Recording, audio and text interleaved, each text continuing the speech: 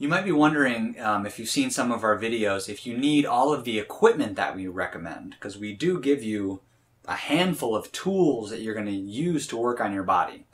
You don't need all of those tools right up front. Um, there are a few key tools that we recommend, um, like a foam roller, a lacrosse ball, and then one level beyond that, there's some really effective tools that made a huge difference for me personally for dealing with my hip issues.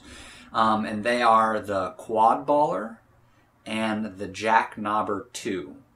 Um, so you'll see what those are in the video, but I think, and we think that those are kind of the next level tool that really make a huge difference in fixing your hip and back issues.